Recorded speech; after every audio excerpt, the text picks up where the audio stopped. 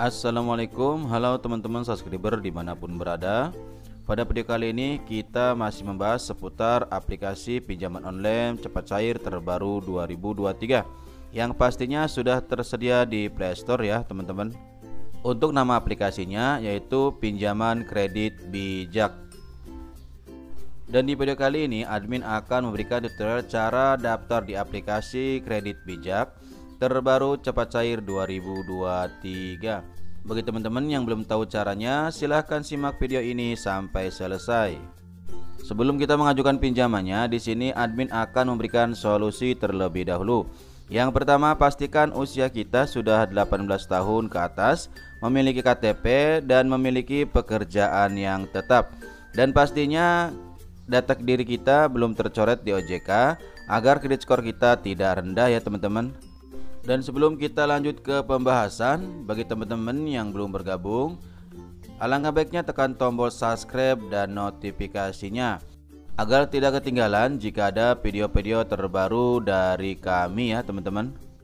Oke, kita lanjut. Kita buka aplikasi pinjaman kredit bijaknya. Kita buka. Selanjutnya di sini ada pernyataan pengungkapan. Kita klik yakin saja. Untuk selanjutnya kita diminta untuk memasukkan nomor handphone dan pastikan nomor handphone kita yang masih aktif ya agar kita mudah mendapatkan kode verifikasinya. Oke, kita masukkan nomor handphonenya. Dan selanjutnya di sini kita diminta untuk membuat password ya teman-teman dari 6 sampai 12 ya, yaitu dari angka, huruf ataupun karakter ya. Oke, kita buat password terlebih dahulu. Jika sudah, kita klik submit.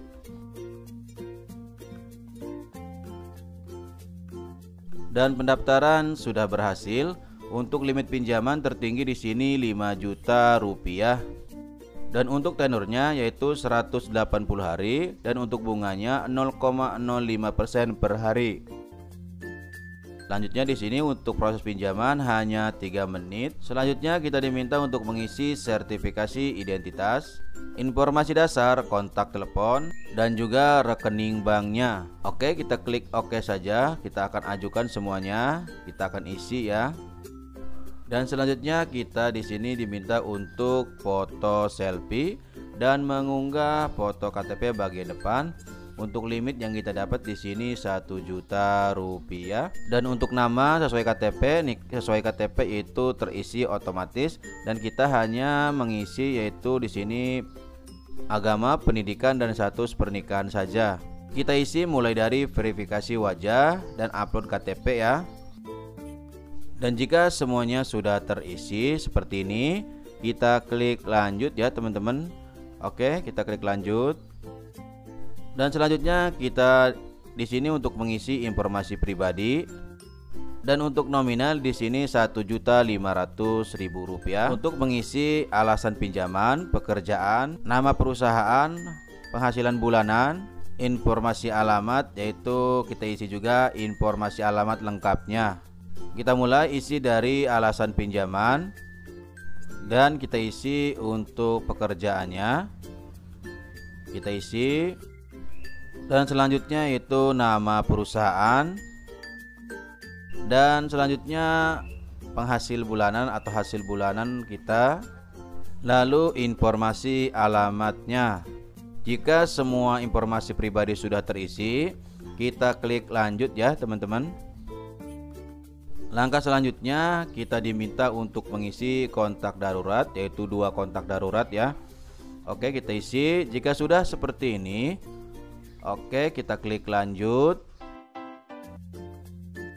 Selanjutnya kita diminta untuk memasukkan informasi bank. Jadi kita diminta untuk masukkan nama dan rekening bank untuk pencairan limit pinjamannya. Oke, kita isi nama bank terlebih dahulu. Jika sudah mengisi informasi bank, kita klik lanjut. Dan di sini sedang penilaian kredit.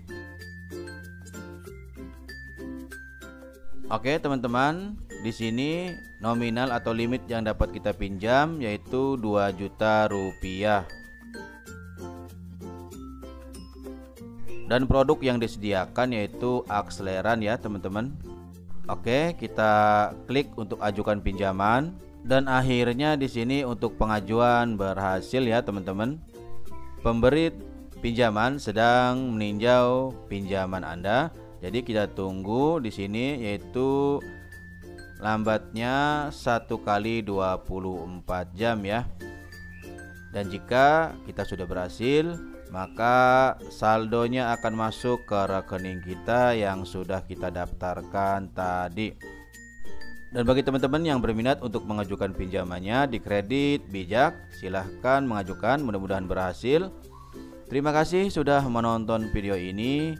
Assalamualaikum warahmatullahi wabarakatuh.